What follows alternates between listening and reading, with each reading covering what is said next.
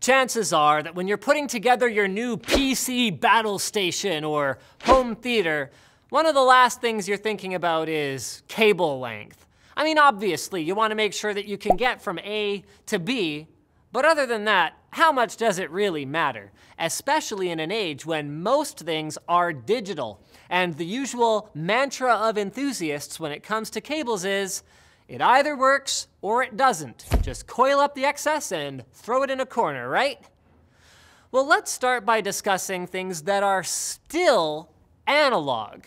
Cables such as speaker wires, VGA cables you might still be using for older monitors, and RCA cables for connecting AV equipment that doesn't have digital jacks like HDMI or Toslink. I have to take this. Sorry, one moment. Linus speaking. Analog signals depend on small, continuous changes in an electrical waveform. You can learn more about that here. But the gist of it is that because analog signals rely on precise variations in voltage, they're susceptible to interference as well as degradation. The longer they have to travel, the worse this gets. So then, for this reason, shorter cables are better, as well as thicker ones, since they have less electrical impedance, which keeps your signal from traveling as far as it needs to. This can result in an actual improvement in picture or audio quality.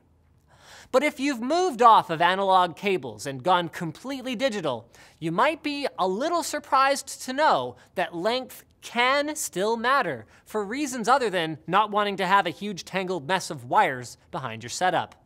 Let's start with HDMI. The common wisdom about HDMI cables is that fancy $1,000 cables like this one from WireWorld are basically pure snake oil. And one two spec HDMI cable is generally as good as another, which by the way, you can learn more about here. But that doesn't mean that length is irrelevant. Digital signals are much less susceptible to interference because information is being sent in discrete binary chunks rather than a continuous waveform. So over short distances, this means that the wisdom is true.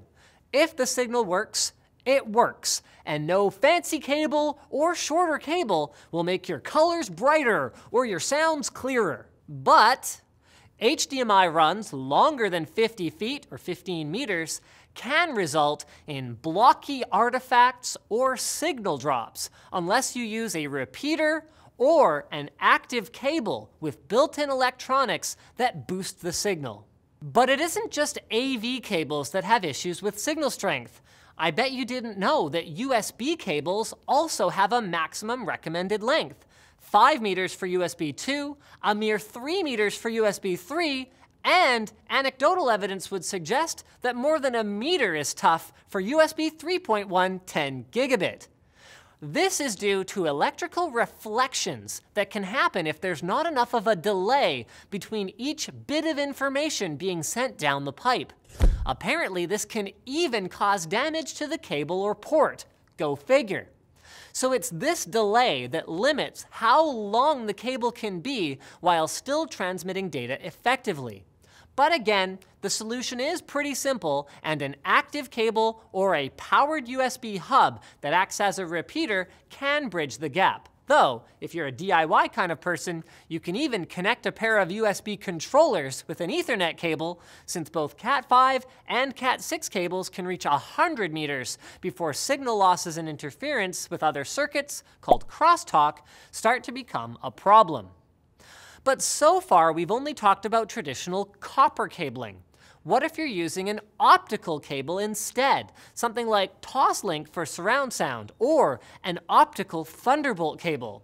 Well, optical cables use light, which can be attenuated if the cable isn't constructed well, meaning that it loses intensity at range, along with its ability to carry information. Think about how a flashlight or the headlamps on your car visibly get less powerful the further away you are. This is a common problem in Toslink cables, which tend to be constructed with cheap plastic fiber, limiting their range to 10 meters at the most. On the other hand, the more premium Thunderbolt cables are often made of data grade glass fibers, which can reflect a light beam down the pipe with far less attenuation, meaning you can get them in lengths up to 60 meters, at least for Thunderbolt 2. No word yet on optical cables for Thunderbolt 3.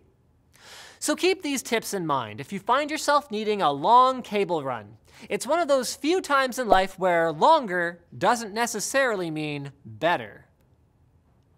Are you building a website check out Squarespace. They've got tons of great templates that whether you're running your local sports team, whether you have a small business that you want to promote online, whether you've got a blog, whether you want to create a beautiful portfolio to show people to get a job, or whether your job is to create websites for people, Squarespace has something for you. It starts at only 12 bucks a month and comes with a ton of great features. The ability to easily and seamlessly edit your website through the cloud, the fact that it's all backed on a great server backend, so you won't experience any unnecessary downtime.